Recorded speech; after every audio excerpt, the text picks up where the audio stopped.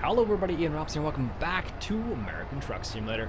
Today we're hauling uh, a little bit of, not methane, ethane, ethane, um, where are we hauling it from?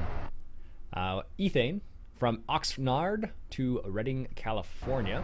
Uh, short little journey, wow, 780 kilometers or so, and uh, 17 grand. I've almost got the Kingpin lined up. Let's go ahead and get into the truck here and see if we can't get it lined up. Okay. Put that um, parking brake on. Couple the trailer. Now technically, let's put it into gear and then see if the trailer brakes are on. Looks good. That's also how you stall your car or your truck.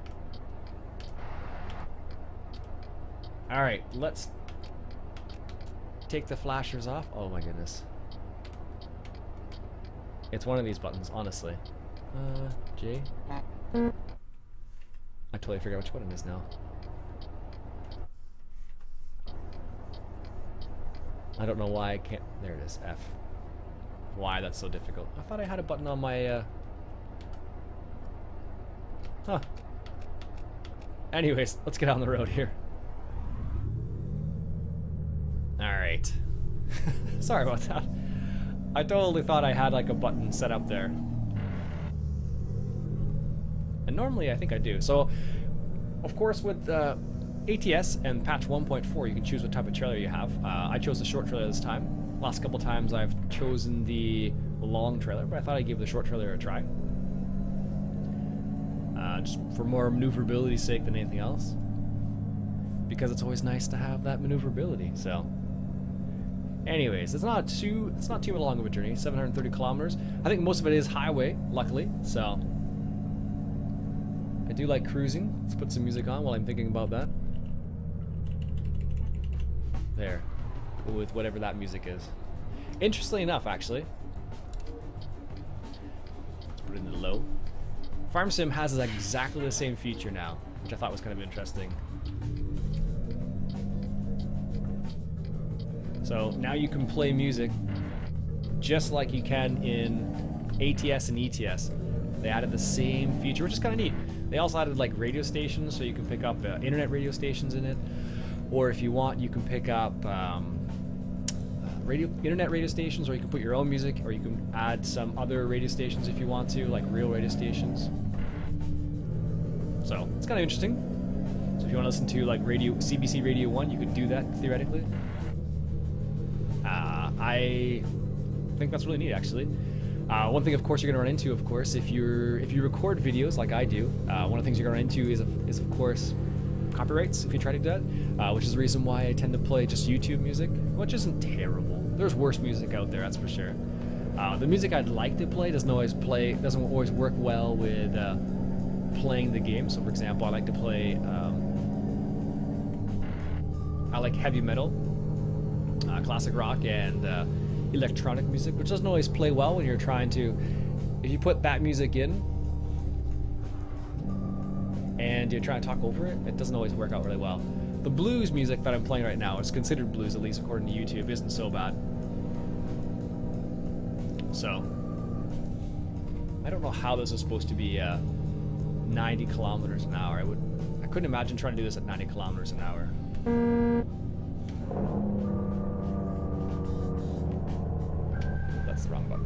Seriously, like 90 kilometers an hour around these bends, uh, you would surely make this flip over.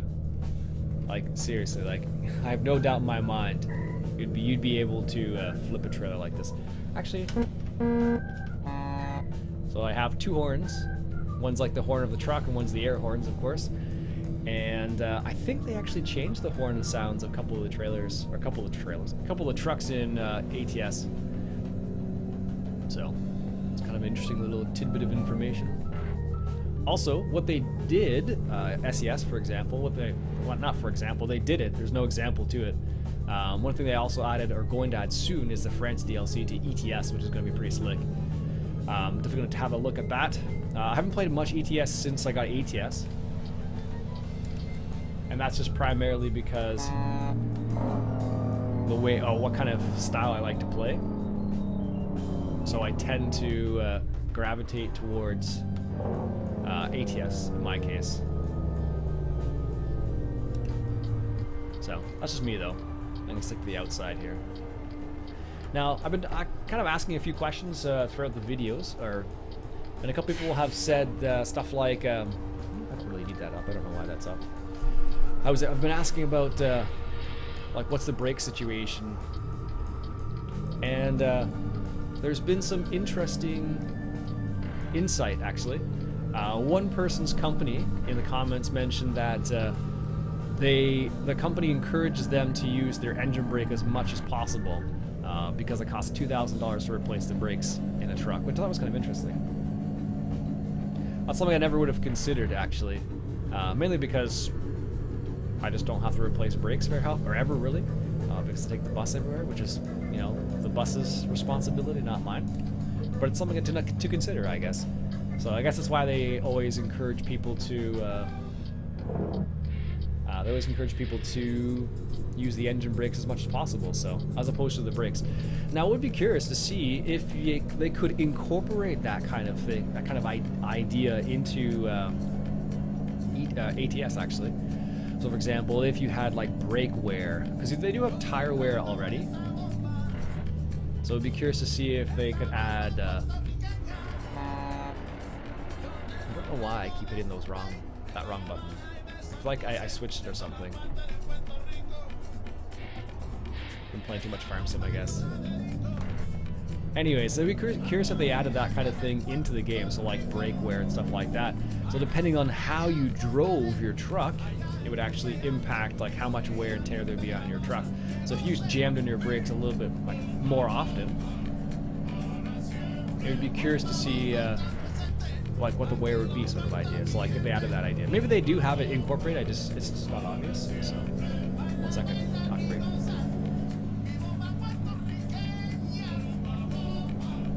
I don't know. That might be a kind of a interesting addition. But maybe in the future, who knows? There may be a mod out ready for that. I have no idea. It's a nice car like that. What kind of car is that? I can't tell. Nope, we're not going to the mine. Not this time, at least. Not this time. Whoa, buddy. What's up with that? You get it right in front of me and then you slow down? Come on. Jeez.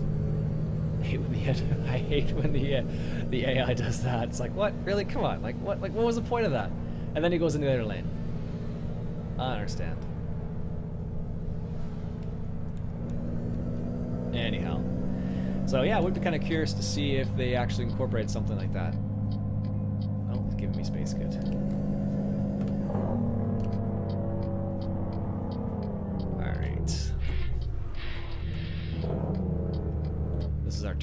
Here by the windmills, or wind turbines I should say, sorry. So yeah, the person mentioned that uh, the company suggests uh, a combination of engine brakes and gearing down, so because I guess the gearbox can take a little bit more wear and tear than the uh, than the brakes. Because the brakes would probably get shear, like probably get wasted pretty quickly if you were to brake just use the brakes, right? As opposed to uh, using the brakes in a combination of like a retarder, for example, depending what type of truck you're driving, or a uh, the engine brake, of course. So there are a few options, of course. So. I don't know. I thought it was kind of interesting. It's like something I hadn't thought about, really. I don't drive a truck in real life, so uh, that's probably why I never crossed my mind, but it's curious to see how uh, there are some of those things that you need to consider.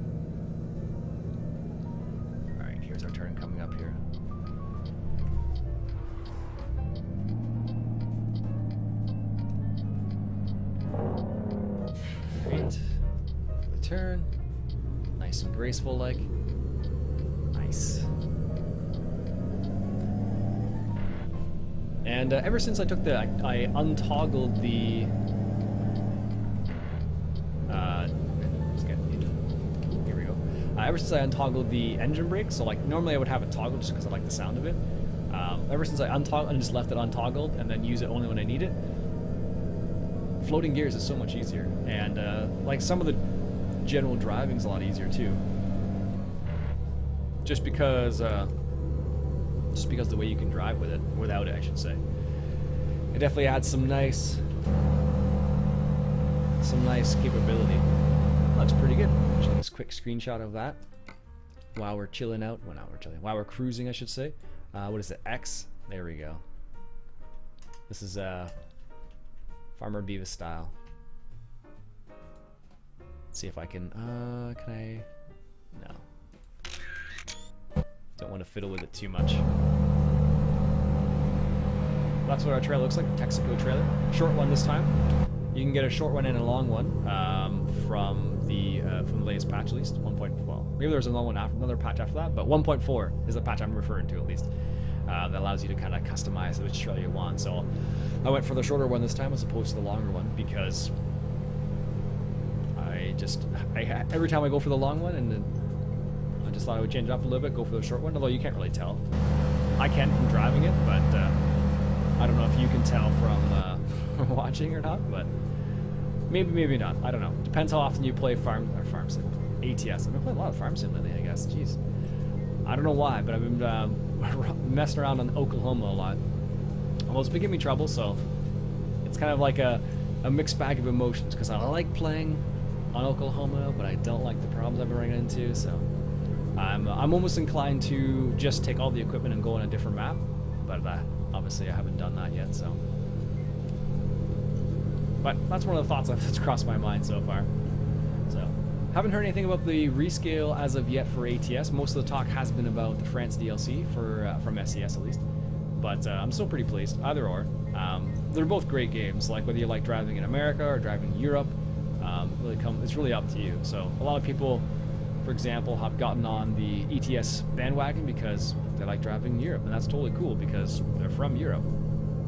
Uh, but if you're like me and you're from the United States or you're from Canada, um, having American Truck Sim is awesome because it definitely uh, changes up the way, like the the feeling of the drive, uh, in the sense that uh, it's not so like I, I, drove this truck, this very almost the same truck in ETS, and it was uh, kind of bizarre because what will happen is I just took the, almost the same truck and put it into ATS in the end, um, but the way the feeling of driving with this truck in this game just you know fits so much nicer uh, than other other trucks. So at least than it did in ETS. in ETS, I, uh, I've been rocking the Mercedes Actros, so that's the last truck uh, I kind of picked up and started playing with, at least with my with a Canadian paint job, uh, which I believe was a gift from Willem. I want to say it was. So thank you again. If it's not, I apologize, but thank you for getting that gift. I think it was who it was. Serious Gamer. Yeah, pretty sure. Anyways, thank you again. Appreciate that. That's one. That's my favorite paint job out of all the different paint jobs I've seen so far. Uh, apparently, the the pirate one is pretty good too, from what I saw. I know Farmer Beavis picked that one up uh, when they released it for uh, International Talk Like a Pirate Day, which I thought was pretty awesome. That they actually released a paint job for that day. Um, that was pretty neat. Because uh, I, I, don't think that's the only thing I ever. Uh, it's the only thing I saw about that, and that was after the fact, really. I think it was uh, was it October, September, September 19th, I think maybe it was. Uh, so it's kind of funny that they released it. That they released a, a mini deal, like a paint job essentially for the game. Made me chuckle. But uh, maybe they'll maybe we'll see a Halloween one. I know there's a Halloween DLC for Train Sim, for example. Let's get into the left lane here so that truck can get in. Um, yeah, I know that they released. I know Train Sim released a DLC for uh, Halloween. I think it was a while ago now I think it's like the Halloween Express, or something crazy like that. I think that's what it is. Something along those lines, at least. And uh, it's kind of a neat little DLC. I never picked it up because I don't think I, I, don't have any of the trains. That's not true. I do have some Train Sim DLC, but I think it was like combined with some other things. So that's the reason why I don't have it. Don't have a lot of DLC. Although there are a few ones I'd like to get, namely the. Uh,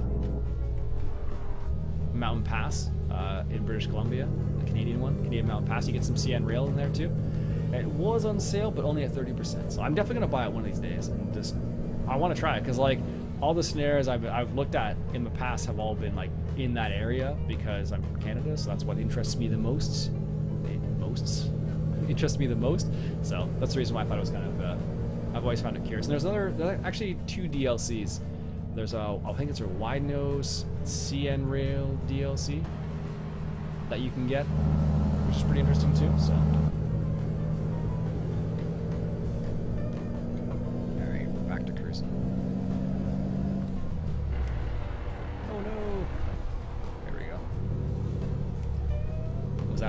There for a second.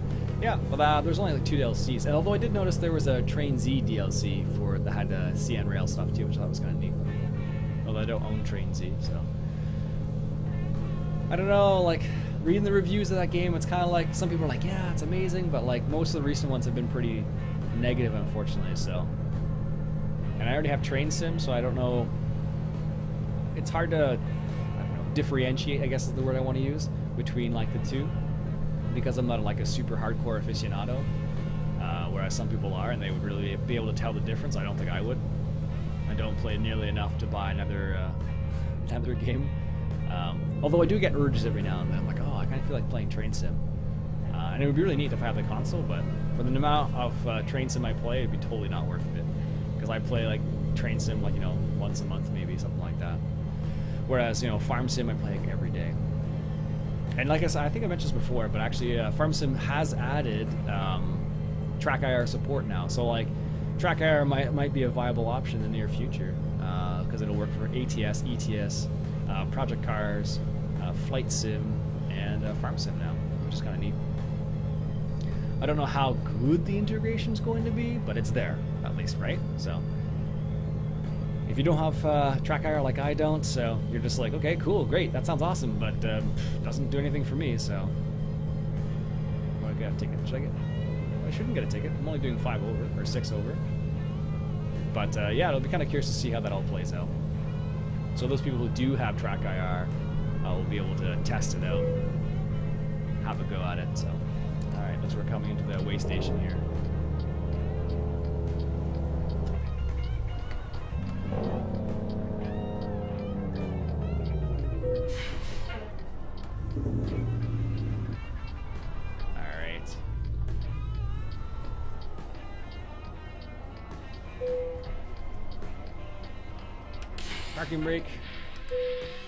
What's my gross weight? 30 tons. Not bad. Should have put it neutral first before before uh, putting the parking brake on. That always helps, right? Oh well. Won't be the first time, won't be the last. I can only imagine what it would be like. Thinking about it, I'm like, oh, nope, definitely not the first time I've done that. Definitely not the last. Alright, let's keep an eye on the mirror here, see if we can't get, uh, can't merge. Oh, looks like we're clear to go. Nice. That never happens. People always want to get in your way. Although maybe, uh, maybe with that, um, with that, uh, realistic tra AI traffic mod. Maybe that's part of the reason why they move out of the way a bit more. I, I kind of, I guess I, I noticed that a bit more once I got that mod. People are more willing to like, oh hey, there's a truck coming into the lane. Maybe I should move out of, out of its way. It's not always the case. I've had cars come into my lane, of course, just because I have no idea why they came into my lane, but it's happened once or twice where they decided it was a good idea to come to my lane. Don't know why, but um, yeah, it's happened. Is the right hand lane ending? I guess not. It's going to the right hand lane. The slow lane is what they would refer to it as. Actually, uh, if you if you know who Denis Leary is, uh, there's a, a, line in one of the songs he sings um, that always makes me chuckle. He, uh, one of the lines he says, "I drive really fast. No, I drive really slow in the ultra fast lane." I believe is how the line goes. Kind of comical. So it's like me doing. It would be like me doing like 50 kilometers an hour in like the left-hand lane there. So, what? Second guy without a job? Come on. Can't believe that. Step it up there, gents ladies. Jeez, what song is this? Jeez, that's terrible. Café con leche. I think that's how you pronounce that.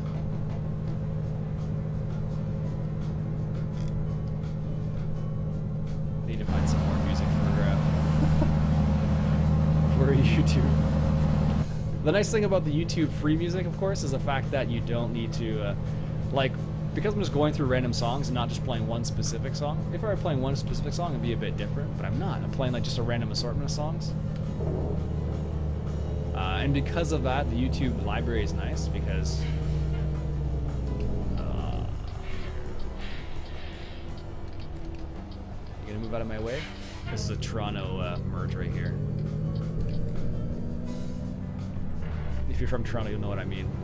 Or city, I don't know. I'm not sure we call it a city merge, but usually that kind of stuff will happen. Um, when it's like you have to merge and people just like make a spot for themselves, which isn't always what you want because they get awfully close to your car. And that's the reason why you move out of the way in the first place. But uh, that's how you get get into accidents. But it's also how you, uh, oops, it's also how you uh, merge sometimes, or you, that's the only way you can merge. Let's move out of the way of this guy we can. Didn't didn't didn't hit him, luckily. Although I almost did. So it's like the way the way the game works sometimes. You like you just start moving slowly into the lane, and eventually the AI is like, "Oh shoot, there's a there's a semi truck coming in my lane. Maybe I should move out of its way." At least that's how I do it. How do you usually merge in this game? Do you normally uh, wait for an opening, or do you make an opening? I guess is what I'm trying to say. I usually end up making an opening. Uh, in a lot of cases. Not always, of course, but in a lot of cases, it's like, okay, let me just, you know, put my truck right there, and then they're like, oh, wow, yeah, we're to have to move for that, so. Anyhow. Alright. Time is in game? 5 o'clock already? Holy smokes. Only 40 clicks left? Oh, I, I it's uh, quicker than I thought it was going to be, actually. Don't need the high beams yet, thankfully. Coming up here, it's going to be on the right-hand side. I think there's a way to change the GPS in this game so it shows you the distance to turn. And I don't know where on earth it is in this game. Oh, that was totally our turn. Well. Uh, what turn are we making next? I guess we're doing a big loop. Is there anything else we could do? No, not really. Not safe. Uh, you could, yeah, I guess we could just go straight we'll do this and then come into the Texaco that way. Just gotta pay attention this time, that's all. that's not so bad, but um, yeah, I don't know. I do like the, I like, when they, I remember when they first added that feature where you could just mark things on your map as to where you wanted to go. Get in the right hand lane this time. Uh, mark where you wanted to go on the map, and I think that's really neat because uh, it makes what I just did possible, which I think is really cool. If I had kept going, I probably would have eventually rerouted anyways, but uh, just gives me the capability of kind of double checking. So let's start slowing down here.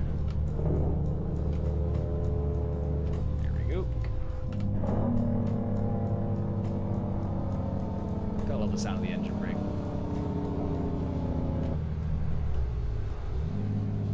I don't know how much we need to slow down here, actually. Doesn't actually say... No, it doesn't. It's still 89 kilometers an hour here, so...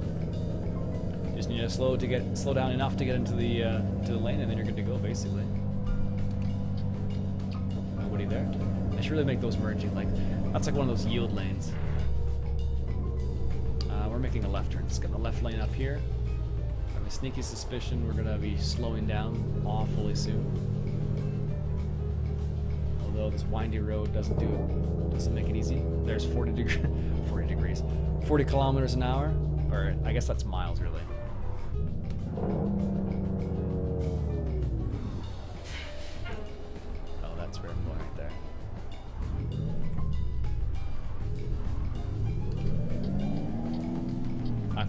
Stay in the right, stay in that lane there, but I guess not. Gotta love a left turn lane signal. Now I do have air brake simulation on, which has been pretty easy to deal with actually. Uh, in this context, because I I don't know what I sometimes I'll pump the brakes without realizing it, and I'll just make the, the chirping sound. So I have to watch out for that because if I do that, I'm using up the air pressure, which I, I shouldn't do.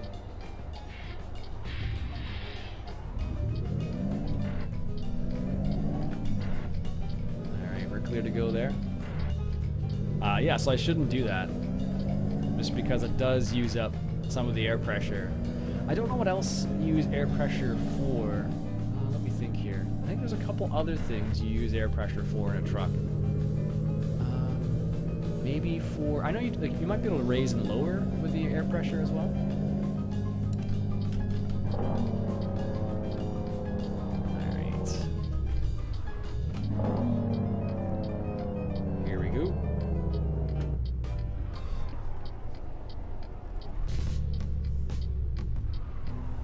Get over that. Oops.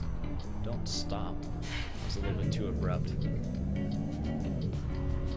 Just wanted to slow down. I didn't want to stop. Alright. I don't think it's been a while since I've been to this place. Oh, that's a super. that really is a safe parking job. Oh my goodness. Let's you just drive straight in, which I guess kind of makes sense. It seems like an odd place to park, actually, now that I think about it. Like in the middle of nowhere. But I guess they have. Uh, is there anything that you would connect to it? Hmm. Really? Why is that not in there? That's strange. Alright, parking brake. Take out of gear. It's in neutral. Decouple. Let's see what our results are. Should be pretty good. Excellent. Très bien. Nice. Hazardous hazard class 2. Nice. 689 XP from that. Pretty good little journey, actually. Sweet. All right, folks, that'll be it for me for today. Another episode of American Truck Simulator. I do love this game. Every time I come back to it and record an episode, I don't. I try not to play it too much um, because you just get sucked into it sometimes. Um, and it's not my main game on my channel, but I do like playing it, so I kind of incorporate it in a little bit. Anyways, moving on. My name is Iain Robson. I hope you enjoyed the American Truck Simulator. If you did, why don't you go ahead and hit that subscribe button, and uh, I'll catch you guys later.